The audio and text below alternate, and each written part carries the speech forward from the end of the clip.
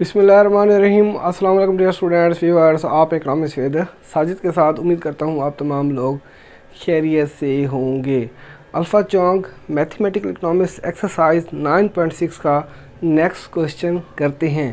Question solve करने से पहले आप लोगों से रिक्वेस्ट है, प्लीज़ यार वीडियो को लाइक भी कर दिया करें और अपने दोस्तों के साथ शेयर भी कर दिया करें।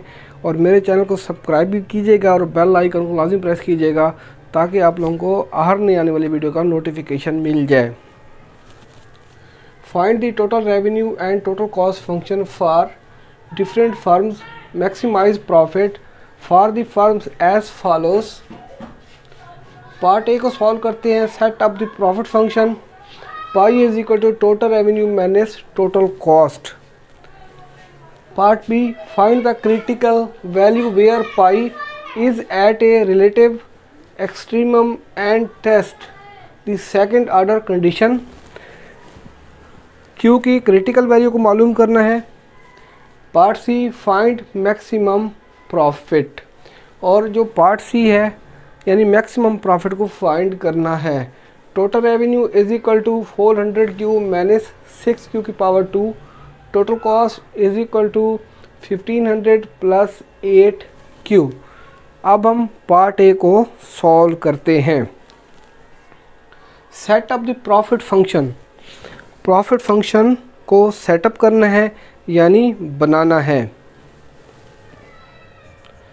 Pi is equal to total revenue minus total cost ये प्रॉफिट फ़ंक्शन है, यानी पार्ट ए का आंसर है। पार्ट बी में क्रिटिकल वैल्यू को मालूम करना है क्रिटिकल वैल्यू को मालूम करने के लिए टोटल रेवेन्यू की जगह उसकी वैल्यू को पुट करेंगे और टोटल कॉस्ट की जगह उसकी वैल्यू को पुट करेंगे और क्वेश्चन को आगे सॉल्व करेंगे। Pi is equal to total revenue की जगह उसकी वैल्यू को पुट करते हैं। 400 हंड्रेड क्यू माइनस का 6 क्यू की power two minus total cost की जगह उसकी वैल्यू को पुट करते हैं।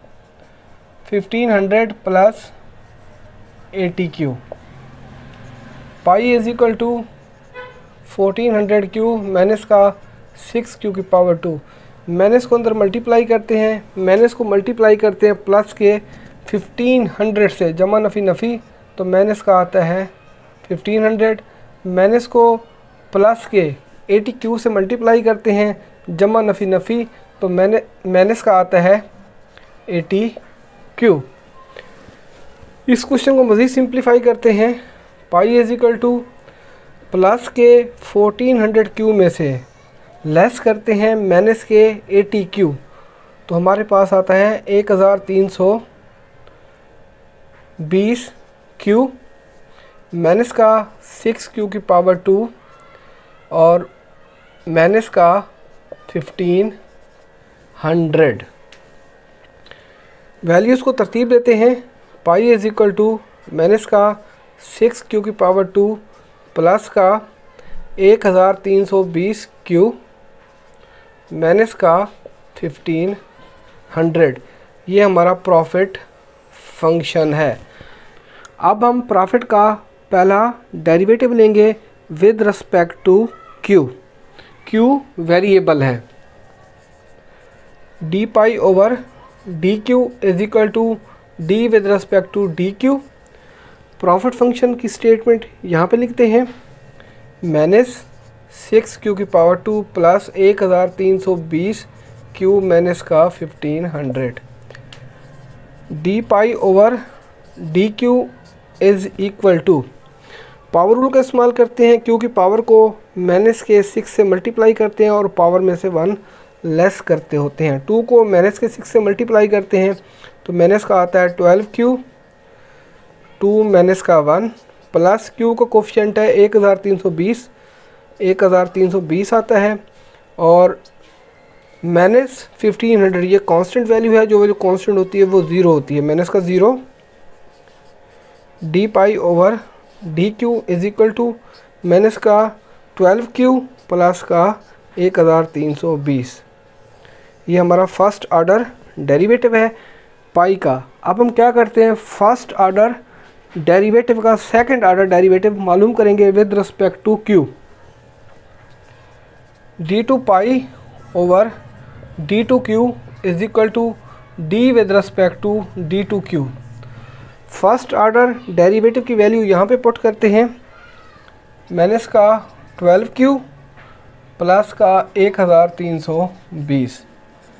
D two pi over d two Q is equal to Q का कोफिशेंट है माइनस का ट्वेल्व ये माइनस का ट्वेल्व प्लस एक हज़ार तीन सौ बीस, ये कांस्टेंट वैल्यू है, जो वैल्यू कांस्टेंट होती है वो zero d two pi over d two Q is equal to minus का ट्वेल्व आता है. लेस देन टू ज़ीरो इसे हम कहते हैं कंकेव रिलेटिव मैक्सिमम क्यू की क्रिटिकल वैल्यू मालूम करने के लिए प्रॉफिट के पहले डेरिवेटिव को ज़ीरो के बराबर रखते हैं। D pi over d Q is equal to zero ये प्रॉफिट का पहला डेरिवेटिव है, इसको ज़ीरो के बराबर रखेंगे।